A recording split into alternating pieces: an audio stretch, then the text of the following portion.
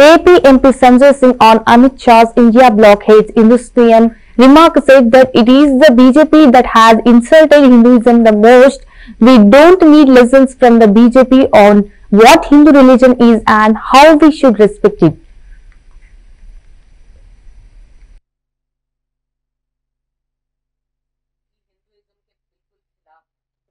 और जो प्रभु श्री राम के नाम पे चंदा चोरी करते हैं वो किसके खिलाफ है जो सीता मैया को टेस्ट ट्यूब बेबी कहते हैं दिनेश शर्मा जी उप मुख्यमंत्री रहते हुए उत्तर प्रदेश के वो हिंदुओं के खिलाफ नहीं है।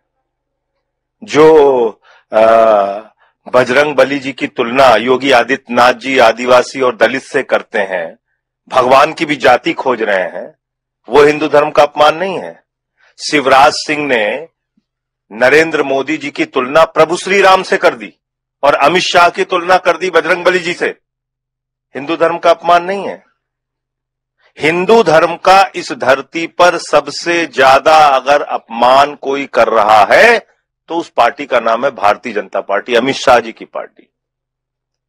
आप देखिए ना, हमारा हमारा धर्म क्या है?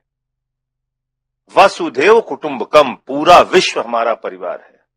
रामचरित मानस की चौपाई क्या है? सब नर करही परस्पर प्रीति। हम कहते हैं, सर्वे भवंतु सुखिना, सर्वे संतु निरामया। आप आप उस धर्म को बदनाम कर रहे हैं। अभी तो सीएजी की रिपोर्ट में आया, अमित शाह ने नहीं देखा क्या? 20 करोड़ रुपए प्रभु श्री राम की नगरी अयोध्या के डेवलपमेंट पे खा लिया इन लोगों ने। तो इसलिए हिंदू धर्म क्या है? हिंदू धर्म का सम्मान कैसे करना है?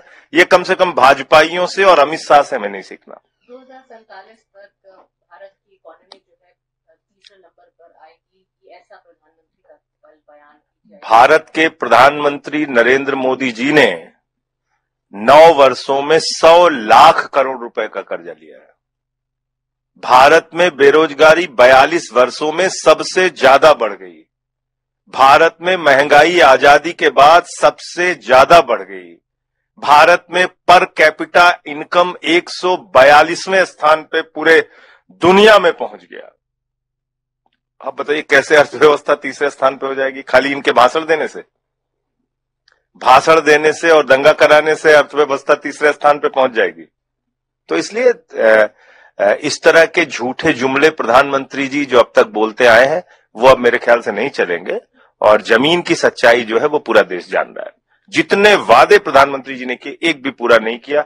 चाहे वो दो करोड़ रोज़गार का हो, चाहे वो किसानों के फ़सल के दुगने दाम का हो, चाहे वो पंद्रह लाख हर खाते में पहुँचाने का हो, चाहे वो पंद्रह अगस्त 2022 तक सबको पक्का मकान देने का हो।